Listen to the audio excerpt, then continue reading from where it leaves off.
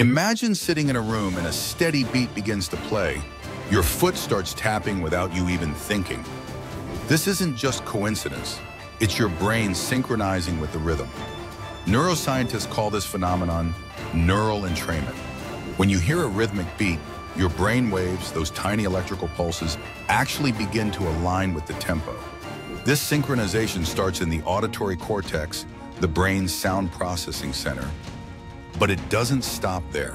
The motor areas of your brain also join in, prepping your muscles to move in time with the music. This is why you might find yourself nodding your head or tapping your fingers to a catchy tune, almost involuntarily. The power of rhythm goes even deeper. Studies show that synchronized brainwaves can enhance memory, boost focus, and create a profound sense of unity among groups listening to the same beat. Fascinatingly, this effect isn't limited to music. Coordinated drumming, chanting, or even the ticking of a clock can trigger the same response.